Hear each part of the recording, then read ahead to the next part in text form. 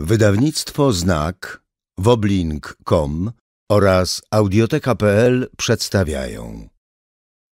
Ksiądz Józef Tischner. Krótki przewodnik po życiu. Czyta Adam Bauman. Wstęp. Zatrzymajmy przez chwilę uwagę przy tym słowie. Życie. Jaka treść kryje się poza tym słowem? Jakie krajobrazy przywodzi nam przed oczy.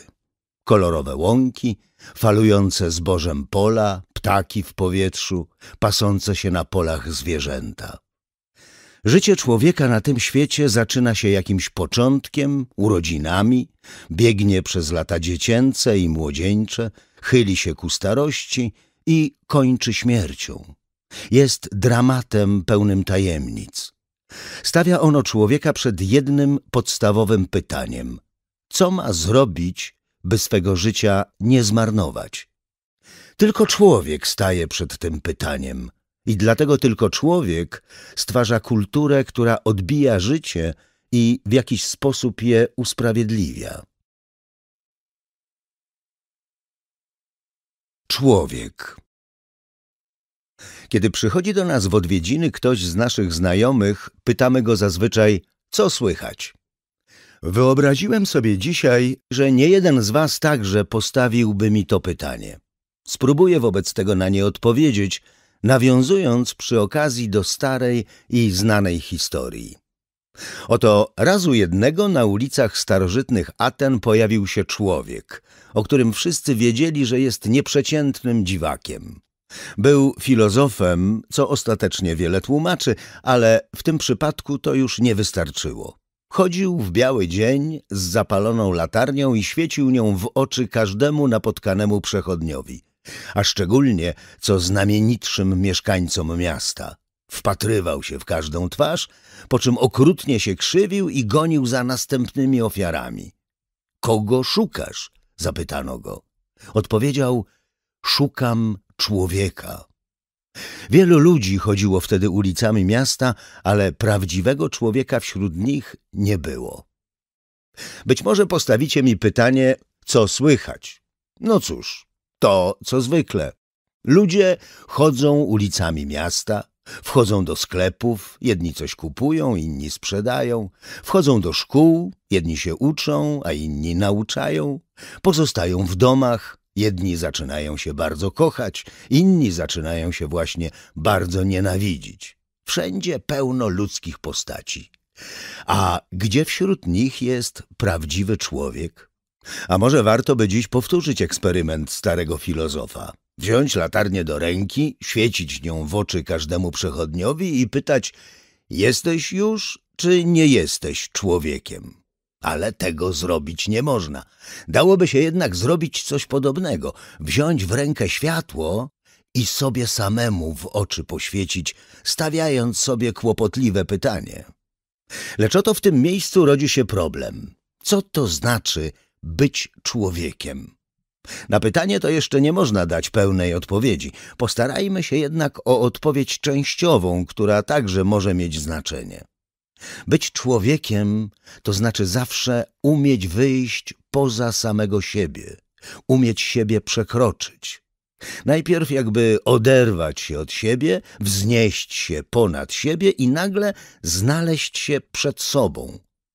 Przyjrzyjmy się temu nieco bardziej konkretnie. Oderwać się od siebie. Często tak właśnie było trzeba. Ileż to razy sami dla siebie byliśmy przeszkodą i zawadą. Była w nas jakaś gnuśność i ociężałość, jakaś nieopanowana niecierpliwość, albo może jakaś nieustępliwa nuda. Nudzimy siebie i zanudzamy swoją nudą innych. Jesteśmy dla siebie barierą. Trzeba więc przelecieć ponad sobą, aby znaleźć się przed sobą. Niby ci sami, a jednak inni. Kto straci siebie, ten zachowa siebie, a kto będzie chciał zachować siebie, ten straci siebie. Taka jest natura człowieczeństwa, zawsze umieć wyjść poza samego siebie. Zechciejcie towarzyszyć obrazom wyobraźni. Spójrzmy na swoje życie. Kiedyś Jeszcze będąc dziećmi, znaleźliśmy się na spacerze. I oto wyrosła przed nami pierwsza życiowa przeszkoda. Stanęliśmy nad strumieniem, nad którym nie było kładki. Trzeba było strumień przeskoczyć. Nie wiadomo było, gdzie skończy się nasz skok. Na drugim brzegu czy w wodzie. Ale nie było wyjścia. Trzeba było spróbować. Udało się. Nabraliśmy pewności siebie. Potem być może oczarowała nas dziewczyna i przyszła ku nam pierwsza miłość.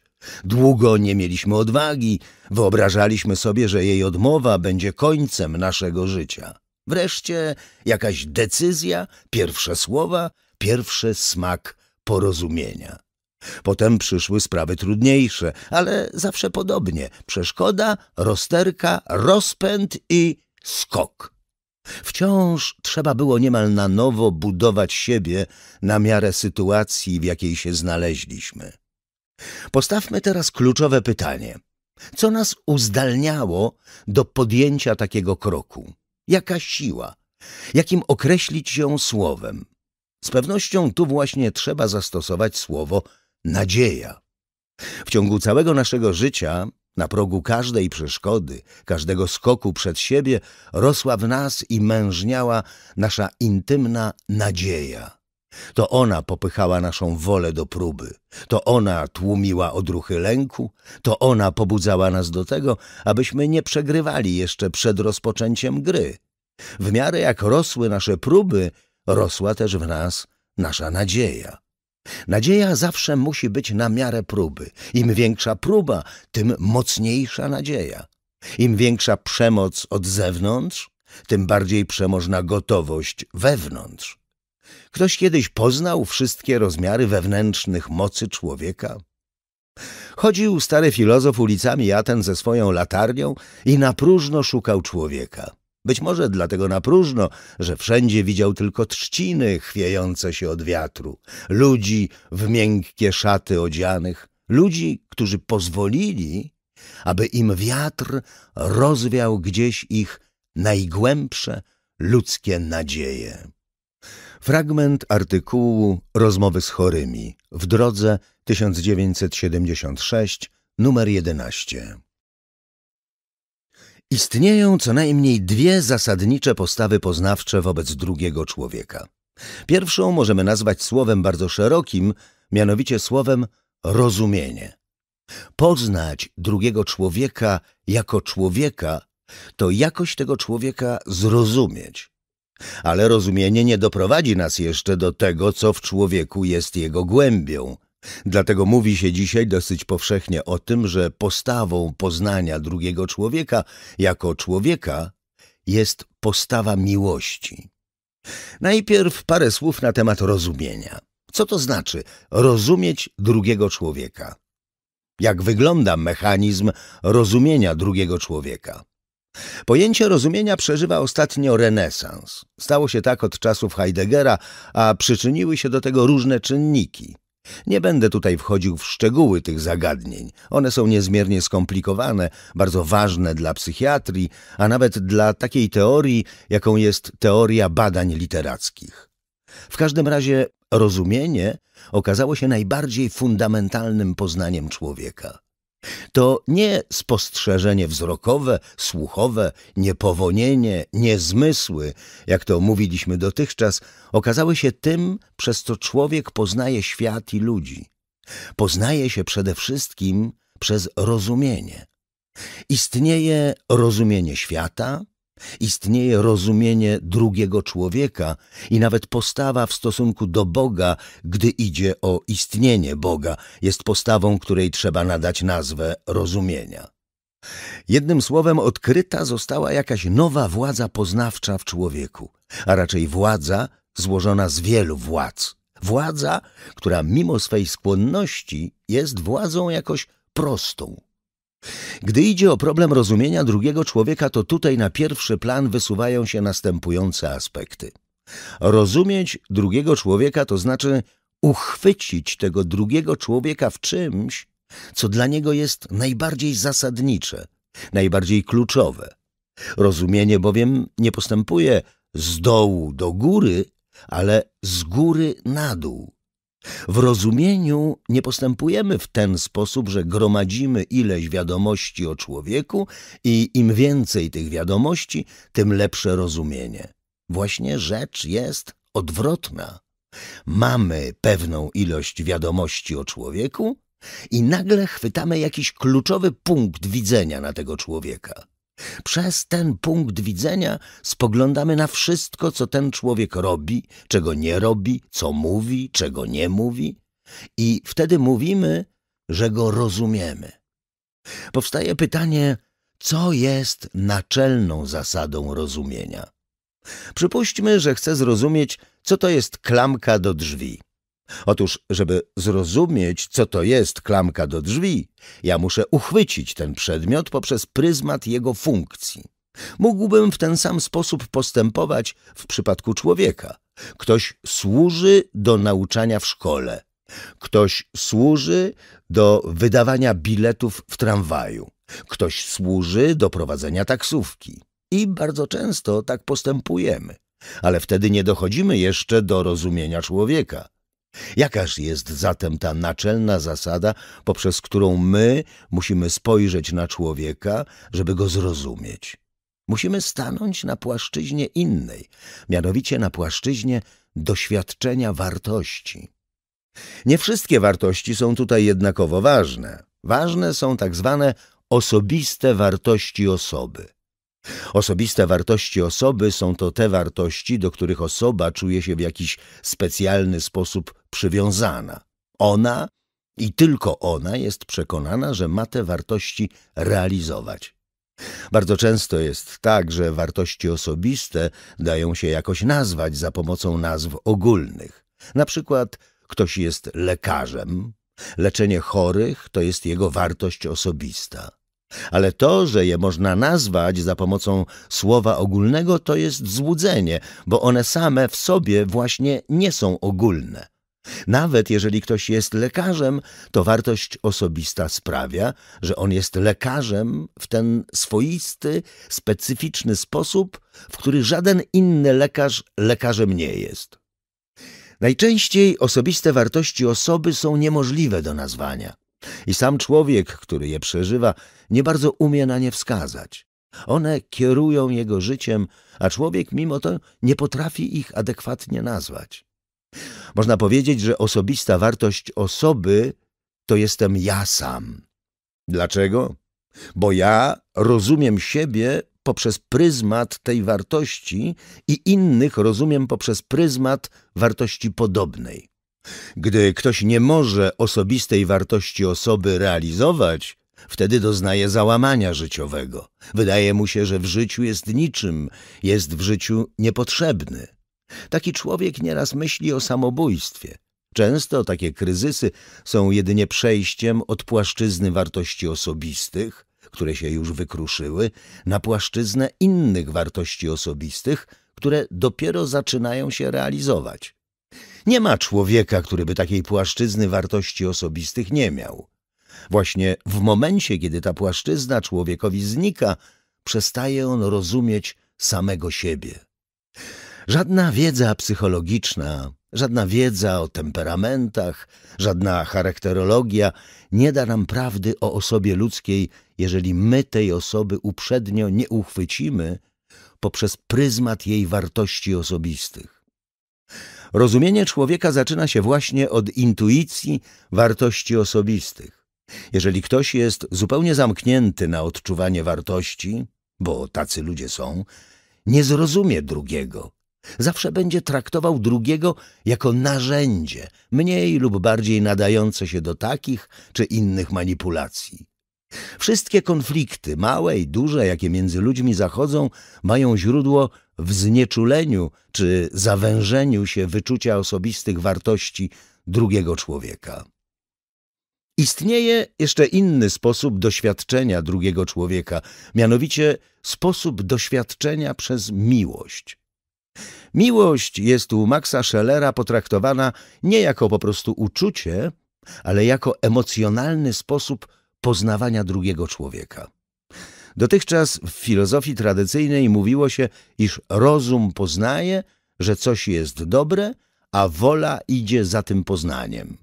Miłość, która wypływa z woli, idzie za poznaniem. Najpierw jest poznanie, a potem miłość. Tymczasem u Schellera sprawy wyglądają nieco inaczej. Jest raczej odwrotnie. Najpierw idzie miłość, a poznanie idzie dopiero za miłością. Ściśle mówiąc, właśnie sama miłość jest poznaniem drugiego człowieka. Kto nie podejdzie do drugiego człowieka z miłością, ten nigdy nie wniknie w jego najgłębsze zakamarki, w jego intymność. Ale kto podejdzie z miłością, ten bardzo często zrozumie więcej, niż ów człowiek wie o sobie samym. Najpierw omawiałem tutaj rozumienie. Teraz omawiam miłość. Wygląda to tak, jak gdyby miłość była możliwa bez zrozumienia, a rozumienie bez miłości, ale to tylko metoda wykładu. Prawdopodobnie jest tak, że do pewnych form rozumienia można dojść tylko poprzez miłość. Max Scheller powiada, że w akcie miłości dochodzi do jakiegoś odkrycia. Czego? Do odkrycia indywidualności drugiego człowieka.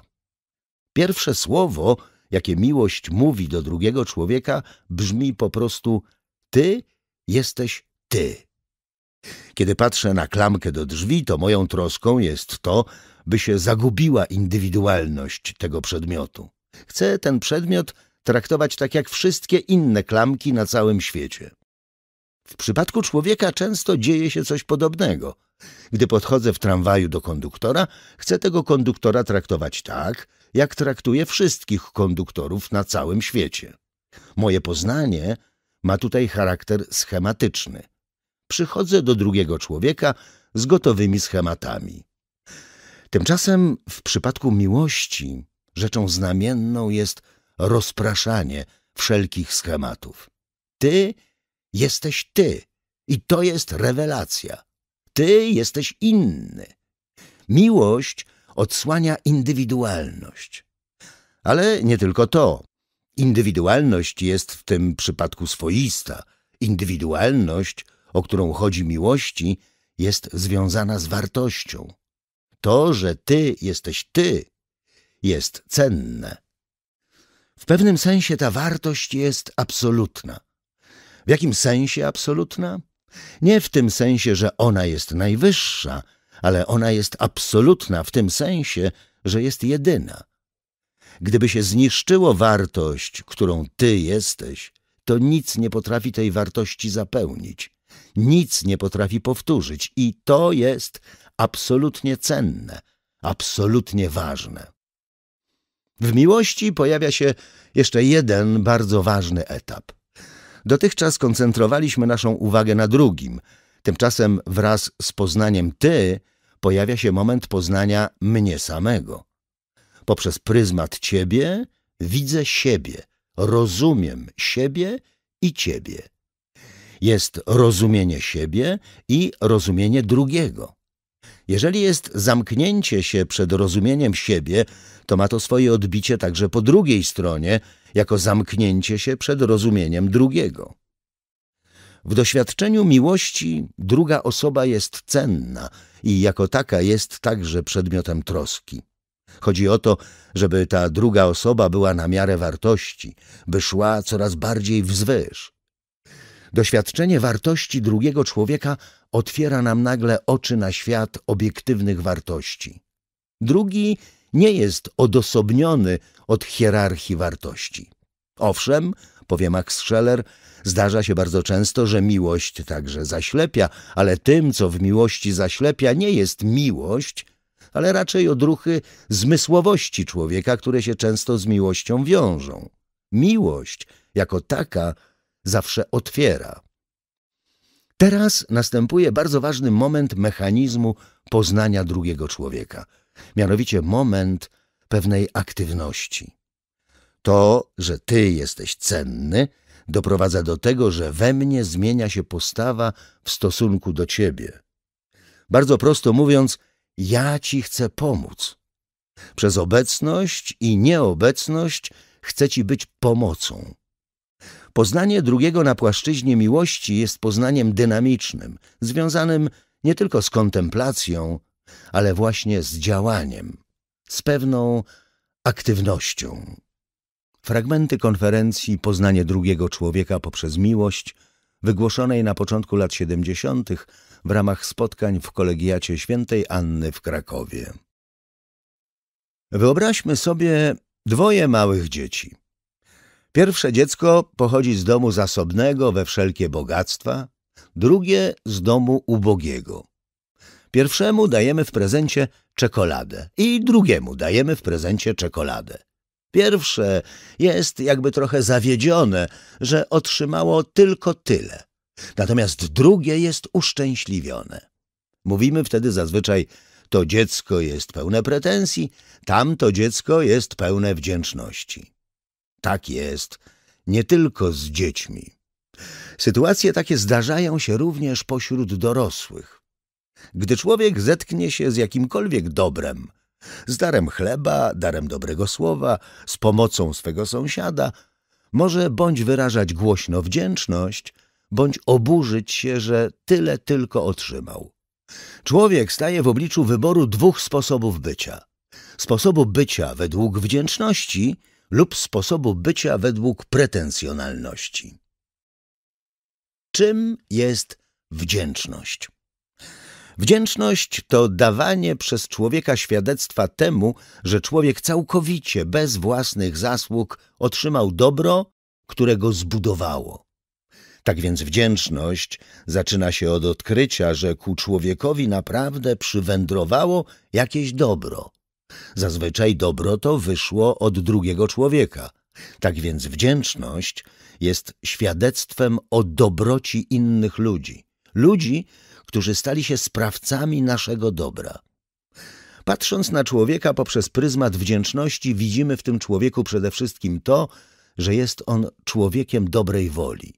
Z dobrej woli, bez nadziei na odpłatę, ktoś drugi ofiarował nam część swego serca. Stąd bierze się we wdzięczności jakiś ukryty podziw dla ludzi i dla świata. I jeszcze jeden moment wdzięczności. Ten, kto jest wdzięczny, dąży do tego, aby się odwdzięczyć, aby za dobro odpłacić dobrem, za mądre słowo mądrym słowem, za sprawiedliwość sprawiedliwością. Nic tak nie buduje człowieka jak wdzięczność. Żyjąc w postawie wdzięczności, człowiek zapomina o samym sobie, bowiem myśli o innych, którzy byli i są dla niego dobrzy. Ale takie zapomnienie o sobie wcale nie doprowadza do ruiny człowieka, lecz przeciwnie, do jego odbudowy i przebudowy. Człowiek staje się jakiś jasny w swoim wnętrzu i jasnością tą promieniuje wokół siebie, głosząc samym swym istnieniem chwałę życia. Przeciwieństwem wdzięczności jest pretensjonalność. Polega ona na ciągłym niezadowoleniu z tego, co się otrzymało. Człowiekowi wydaje się, że otrzymał zbyt mało, albo że tego, co otrzymał, nie otrzymał szczerze, że mu dano z łaski. Człowiek sieje wokół siebie zgorzknienie i staje się coraz bardziej podejrzliwy, jakby się wstydził uznać tę oczywistą prawdę, że w każdej chwili swego życia zależy od innych, od mądrości i pracy drugiego człowieka. Zawsze więc, w każdej życiowej sytuacji, przy każdym spotkaniu z drugim człowiekiem dane są nam do wyboru dwie postawy wobec dobra, które ku nam dochodzi. Postawa wdzięczności bądź postawa pretensjonalności. Wdzięczność to wdzięk duszy, powiedział Henri Bergson. Nikt z nas nie dopraszał się na ten świat. Świat został człowiekowi dany darmo. Człowiek, będąc już na świecie, odkrył po jakimś czasie, że świat jest piękny, ciekawy, niewyczerpalny. Człowiek przywiązał się do świata, do życia, do ludzi.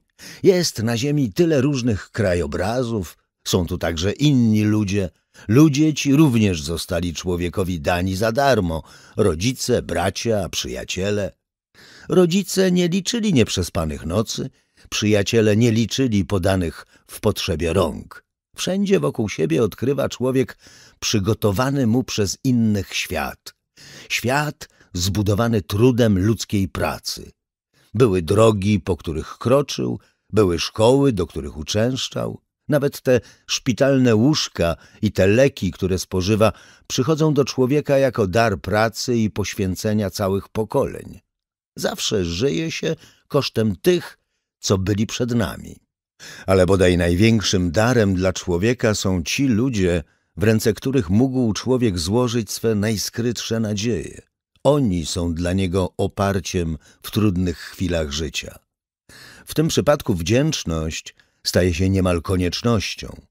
Wdzięczność za prawo, jakie dał nam drugi człowiek, za prawo do złożenia w nim naszej najskrytszej nadziei, jest najpiękniejszą i najbardziej zaszczytną formą naszego ukochania drugich. Człowiek znalazł się w sytuacji, że więcej otrzymał, niż zdoła zwrócić. Choćby jego życie trwało nie wiem jak długo, nigdy nie zdoła odpracować pracy pokoleń, które budowały mu świat, formowały umysł, kształtowały serce. Dlatego jeden z największych w dziejach świata znawców duszy człowieka dał ludziom taką mądrą radę. Darmo otrzymaliście, a więc darmo dawajcie. Fragment artykułu Rozmowy z chorymi w drodze 1976 numer 11 Spotkanie Mówimy spotkanie. Mówimy doświadczenie spotkania. Zatrzymajmy się na chwilę na słowie doświadczenie. Ono mówi doświadczenie, a więc druga część słowa ma ten motyw świadectwa. Słowo wskazuje na jakieś dorastanie do świadectwa.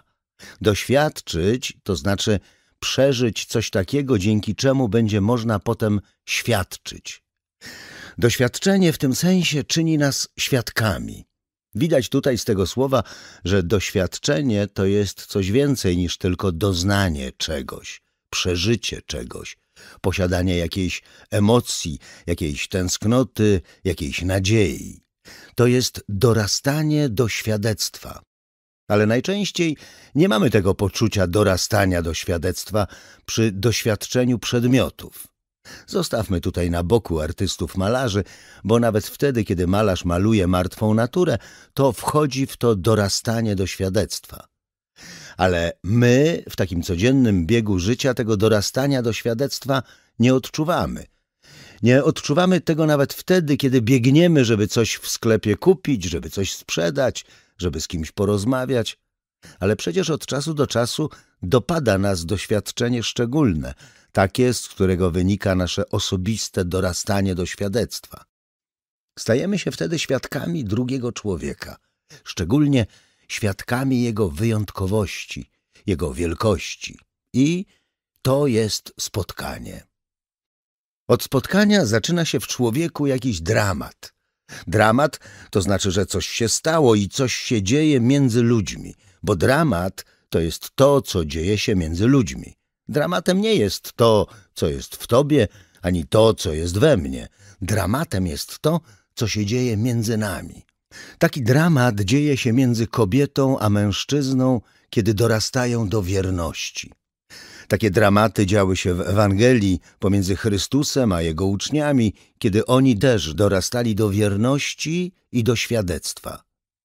To jest niesłychanie ważne, żebyśmy w tym morzu doświadczeń, które nas napadają, potrafili wydobyć jasne punkty. Punkty, od których zależy nasz los. Z całą pewnością każdy z nas ma w życiu tego rodzaju doświadczenia. Szczególnie często pojawiają się one w relacjach między kobietą a mężczyzną. Mówimy czasem o pierwszych miłościach, które trwają do końca życia. Czasem są to krótkie chwile skrzyżowania wzroku, dotknięcia rąk, ale ludzie odczuwają, że do siebie przynależą i są sobie świadkami. Spróbujcie potem powiedzieć coś złego o takim człowieku, którego ja w ten sposób doświadczyłem. Może nawet ten człowiek popełnił taki czy inny zły uczynek, może tu i ówdzie pobłądził, ale wtedy cały mój wysiłek będzie szedł w tym kierunku, żeby go zrehabilitować, żeby odsłonić w tym człowieku, często poniżanym, coś wielkiego i dać temu świadectwo, doświadczyć go. Możemy tutaj kilka kroków dalej posunąć tę analizę spotkania. Przede wszystkim trzeba by tutaj przywołać pojęcie twarzy. Spotkać to odkryć przede wszystkim, że inny ma twarz. Rzeczy mają wygląd. Bardzo często ludzie, jak te przedmioty wokół nas, też mają wygląd, zwłaszcza ci, którzy o ten wygląd dbają, ale czy mają twarze? Twarz. Co to jest twarz? Najlepiej by było powiedzieć: twarz to jest twarz. W twarzy mamy przeczucie prawdy danego człowieka. Tutaj znakomity mistrz w tych analizach, nawiązujący zresztą do tekstów biblijnych, Emanuel Levinas powiada, że twarz zobowiązuje. Ona stwarza obowiązek. Ona mówi do nas: nie zabijaj. Ty mnie nie zabijesz. Właśnie, ty mnie. Tak rodzi się zobowiązanie wobec drugiego. Przed chwilą powiedziałem doświadczenie, dorastanie do świadectwa. Widzimy, że w tym dorastaniu do świadectwa jest moment obowiązku. I to jest początek etyki. Etyka to nie są zbiory nakazów czy zakazów. Etyka to jest to, co wyrasta z doświadczenia twarzy i z tego zapotrzebowania na świadectwo, że trzeba dać świadectwo. Chrystus, dając świadectwo, umarł na krzyżu. To świadectwo jest często świadectwem heroicznym. Zresztą, cóż po świadectwie, jeżeli nie ma być ono heroiczne? Tutaj są źródła heroizmu człowieka, w tym doświadczeniu innego człowieka, drugiego, jego twarzy. I jeszcze jeden motyw niesłychanie ważny. Nigdy nie jest tak, że doświadczając czy wchodząc w tajemnicę twarzy innego, ja pozostawiam na boku siebie. Wręcz przeciwnie, jest tak, że ja poprzez tego innego, poprzez jego twarz, poprzez jego spojrzenie, na nowo odczytuję siebie. I od tego momentu ja już nie mogę patrzeć na siebie tylko i wyłącznie swoimi oczami. Ja muszę popatrzeć na siebie oczami także tych, którym daję świadectwo. Kiedyś przed laty miałem kazania do przedszkolaków. Opowiadałem im, jak Pan Bóg stwarzał świat. Stwarzał rozmaite żyjątka. I żaby, i ryby, bociany, i inne ptaki. A potem pytam, kto ze wszystkich stworzeń najbardziej się Panu Bogu udał. Chciałem w ten sposób przejść do refleksji nad człowiekiem. I wtedy jedna dziewczynka, może z pięć lat miała, podeszła do mikrofonu i powiedziała: Chyba ja. Tak bardzo to było piękne, szczere, ale wydaje się, że w tym spojrzeniu brakło właśnie doświadczenia twarzy innego i tego spojrzenia na siebie poprzez innego. Nie bylibyśmy tym, kim jesteśmy, bez tych, którym dajemy świadectwo. Nosimy tych innych w sobie. Jak to Rilke kiedyś mówił, zgaś moje oczy, ja cię widzieć mogę. Zamknij mi uszy, a ja cię usłyszę. A jeśli w mózg mój rzucisz swe płomienie, ja ciebie na krwi mojej będę niósł. Jest coś takiego, że my na własnej krwi niesiemy tych, którym dajemy świadectwo, a inni, ci, którzy dają świadectwo nam, na własnej krwi niosą każdego z nas. I to właśnie jest spotkanie, twarz innego. Wypowiedź dla potrzeb programu ksiądz Józef Tischner Spotkania.